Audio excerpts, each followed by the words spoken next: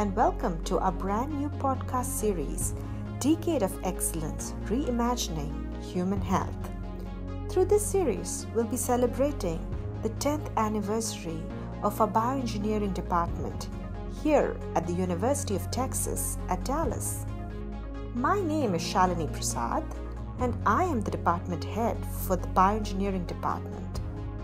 Welcome back, everyone, to a new episode of the Decade of Excellence Reimagining Human Health.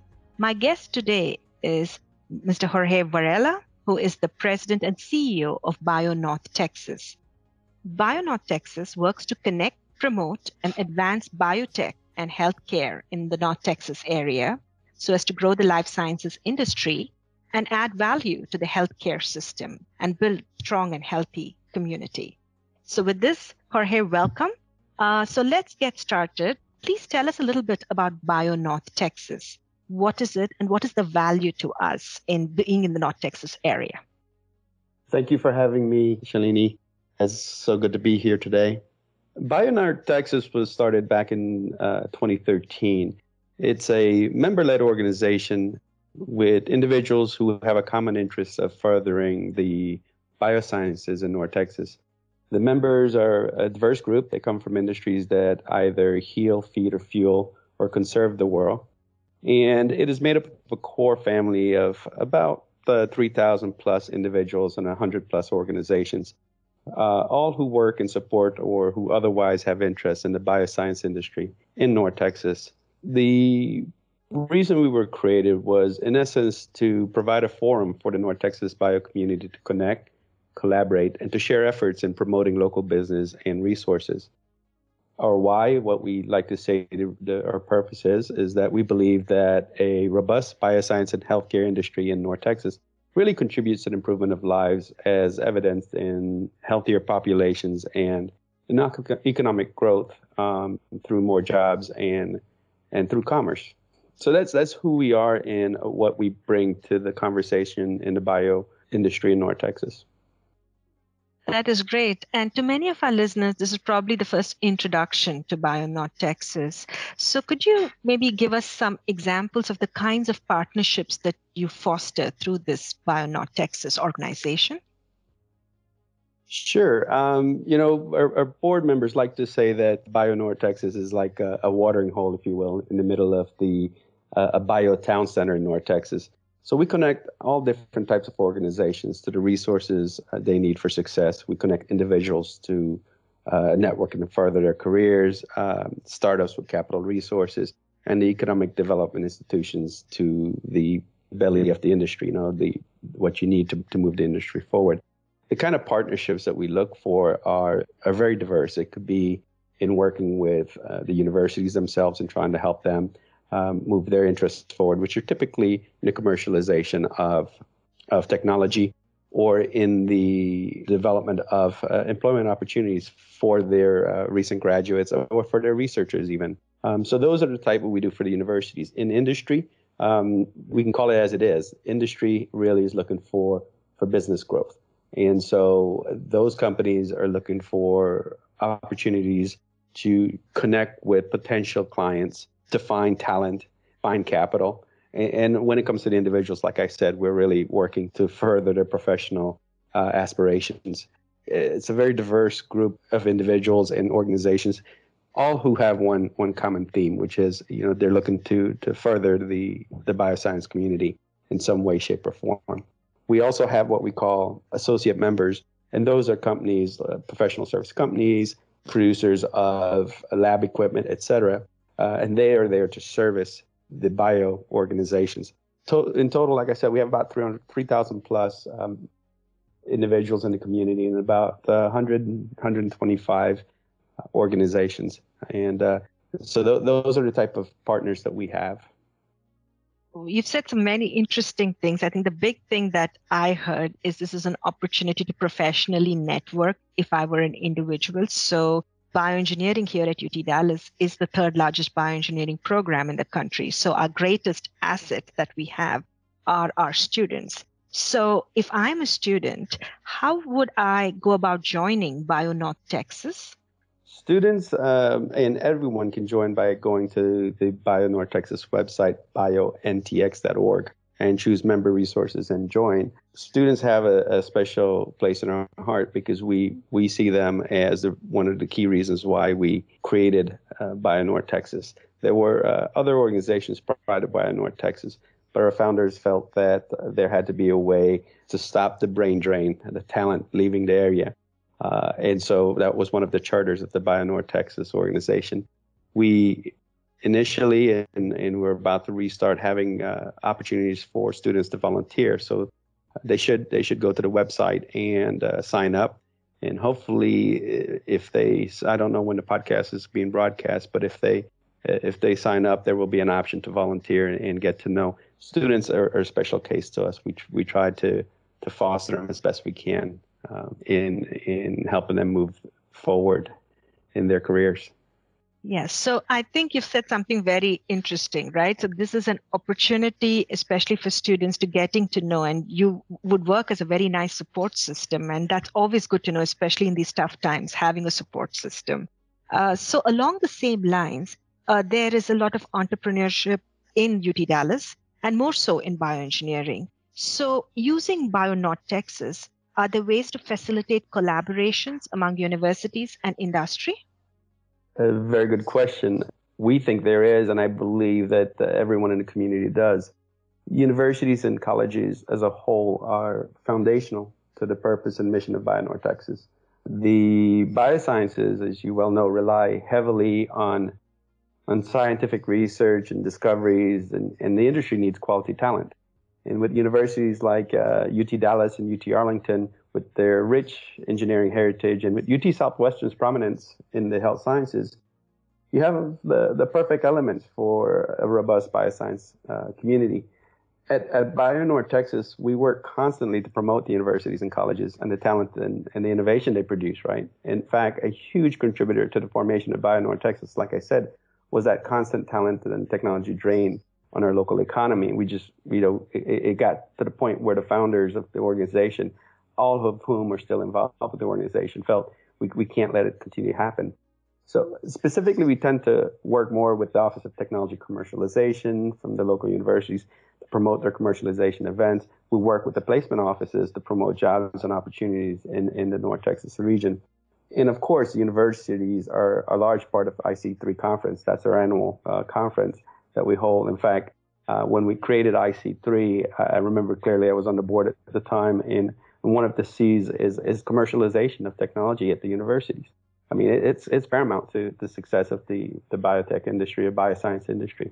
In fact, at the IC3 conference, we, we typically feature startups with, with university technology in the Rising Star segment of, of the conference. Uh, which was founded by Dr. Lucas Rodriguez, so was, was featured in 2019 and uh, and was acquired in 2020. That was you know our partnership with UT Dallas created that that relationship from the start. I remember first meeting uh, Lucas uh, sometime back. I I want to say maybe 2016, uh, 2015 when he was launching the company. He was looking to connect with investors, and and we had some some great conversations and some meetings. And you know, I, I offered some advice. I I don't know if he took it or not. Um, but but then he went on and he was part of a poster event at the IC3 conference in 2017, I believe. And, and then a few years later, the, the, the, the, committee selected CerSci as a rising star. And then the next thing you know, you know, they get acquired. And it's, it's, it's a beautiful story uh, because it, it actually shows how our connections with universities have resulted in these great stories.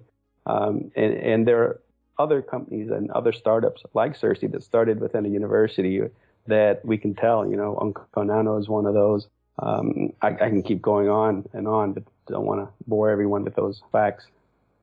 That's truly an exciting story. And I'm really hoping that we'll have many more to tell as we build our relationship with BioNorth Texas. Uh, now, pivoting a little bit to think about biomedical engineering specifically, what do you see as the future of biomedical engineering here in North Texas? Especially in the context of perhaps what the pandemic has done to us and how our thinking has maybe evolved thinking about biomedical engineering. So, you know, that's the exciting part of, of the bio community in North Texas. I, I personally, uh, I'm not a, a scientist.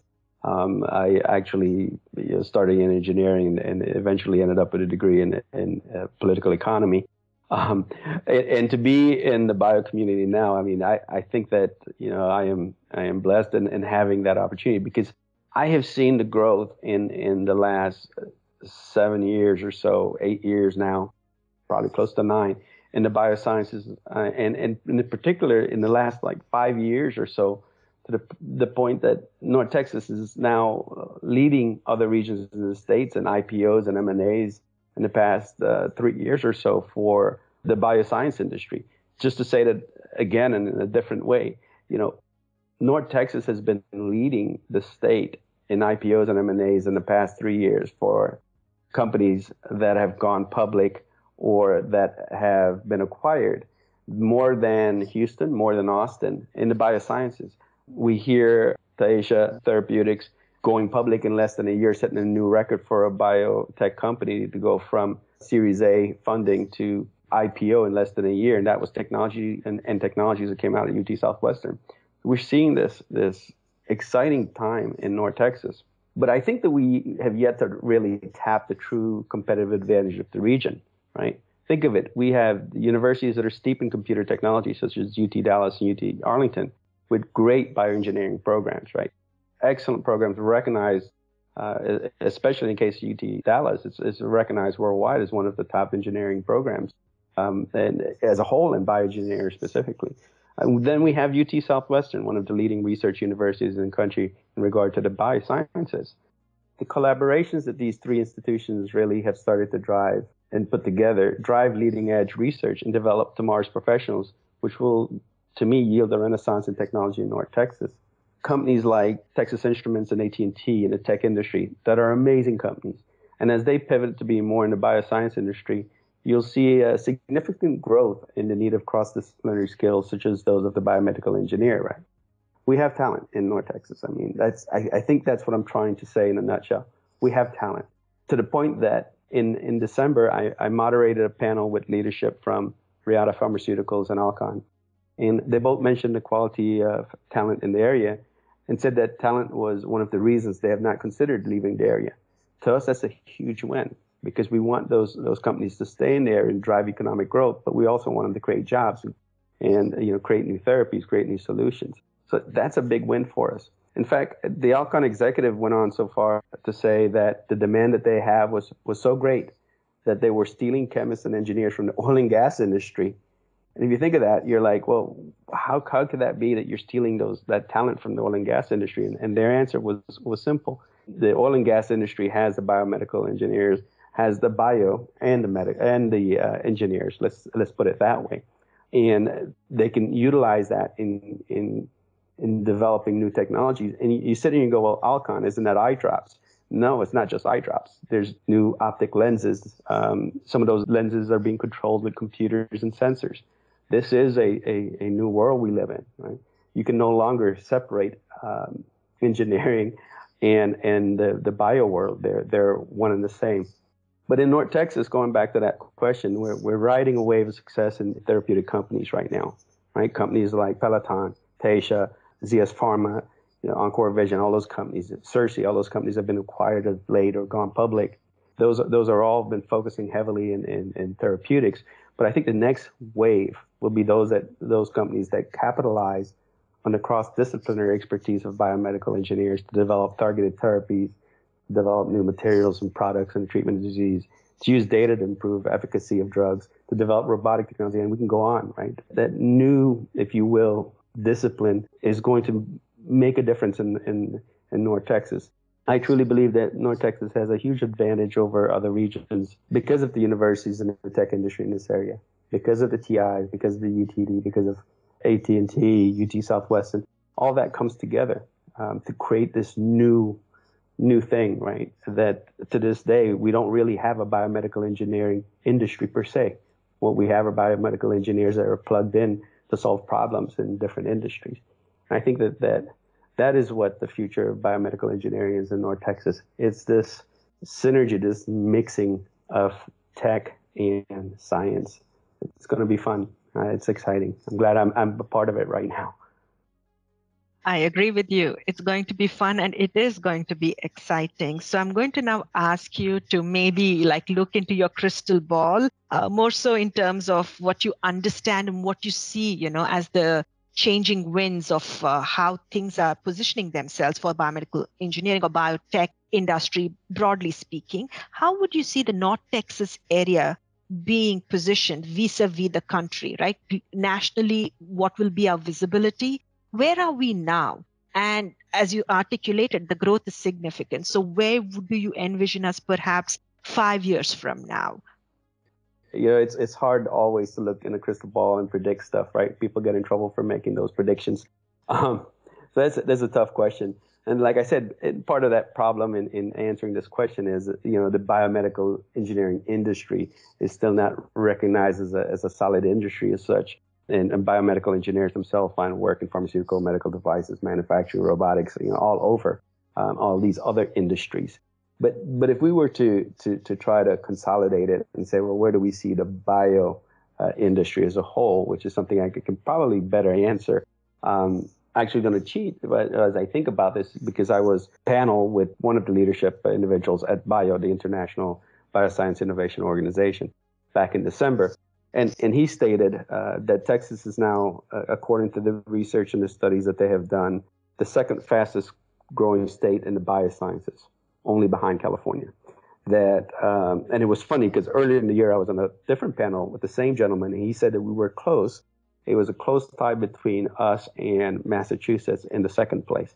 By December, he uh, he said the numbers had shown that we had taken the second position, um, only behind California. Number three was uh, Massachusetts, and number four was uh, a combination of New York, New Jersey area, uh, who individually would not have been that high. So that's exciting news, right? That's it's incredibly exciting news. We see things like McKesson moving their headquarters to North Texas. I mean, why why did they do that? And if you if you hear uh, the the CEO speak, it's simply because all the right all the right elements are here for them to grow. And this whole new wave of biologistics, with the DFW airport investing in in uh, biologistics and everything, you know, trying to create what they call the, the new bio Silk Road um, to facilitate the production and shipment of drugs and and basically of any biologistic worldwide. They're investing significant capital into that. So we have the manufacturing, it's kind of light. We have the logistics. We have the sciences that have come up. And we have lately uh, biolabs opening their first labs outside of the traditionally recognized areas of, you know, the East and West Coast, right? That was a huge win for the North Texas region when, when they said, look, we are choosing North Texas as our first inland, if you will, for our, our labs not Austin, not Houston, but North Texas. That that is that is big news, right? And they did significant studies. They they, they had options to go different places. They had uh, funding to go different places, and, and yet they chose us. Uh, and and if you hear them say it, it's because we have all the right elements for the for them to to be here. And and with them, of course, they came. They're coming into Pegasus Park, which is the innovation center that's coming online in late 2021. Pegasus Park is is already attracting all the right elements for the explosion of the life science community, right? They have they've got the capital, they've got of course biolabs there. Uh, a lot of the experts are opening offices there. So you have the VC people opening offices there. Uh, you have the, the lab places there. You have mentors there. You have you know, companies that, that are co-locating there. That's exciting news. And according to a study that, that was, was done by the, the CTIA, DFW is number two in the country for tech hires. So this is where I'm trying to blend in the idea of the bio and the tech, because if we're number two in the country for tech hires, and that's in the country, that's not just in in in, in Texas, then uh, there's a reason why that growth is happening. There's a reason why those hires are happening, and, and to me, I, I think it's leading towards a bioscience industry. Not because I'm biased bio, uh, because I am, you know, in, in business, which is what I did prior to now. I was a techie. I started tech companies that went public, and you know, so I'm a techie. But I'm I'm feeling it's the bio that's driving this this conversation. I took a peek at this for another panel I was speaking on. Um, you know, to try to understand well, what what does the U.S. labor statistics say about growth in, in biomedical engineering? And and they're projecting that biomedical engineers will grow by 12% by 2028 in Texas, right? that's a big number. You may say, well, 12% doesn't sound like a lot, but you know, anything over 5% is usually considered a lot. So if we're growing 12% by 2028, that's a significant growth in biomedical engineers in North Texas. So I feel confident in saying that I, I, believe that North Texas will be in the, the top echelons of the bioscience industry within the next five to seven years. I, I actually feel that we are we're getting there. Um, every day I get you know more and more individuals relocating here.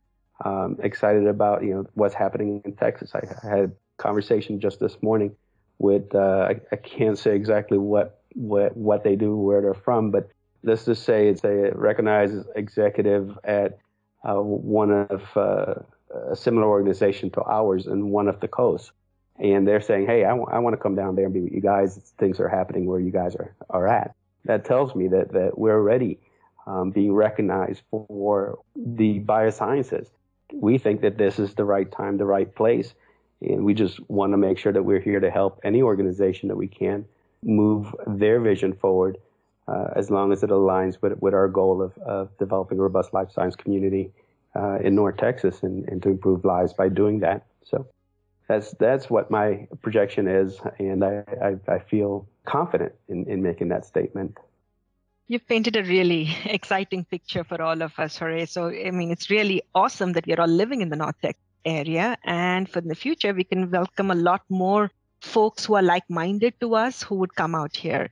So I wanted to thank you for uh, you know spending this time and kind of sharing your thoughts and chatting with me about uh, what the value proposition is for us in the biomed biotech space is for being in the North Texas area. Thank you very much. Thank you, Shalini, and thank you for your work at UT Dallas. The successes we've seen in just the first 10 years are, are great. Imagine what it would look like 10 years from now. So I hope to be around and, and be involved to, to congratulate not just 10 years, but 20 years, 30 years of, of the work that you're doing and that UT Dallas is doing. Thank you very much.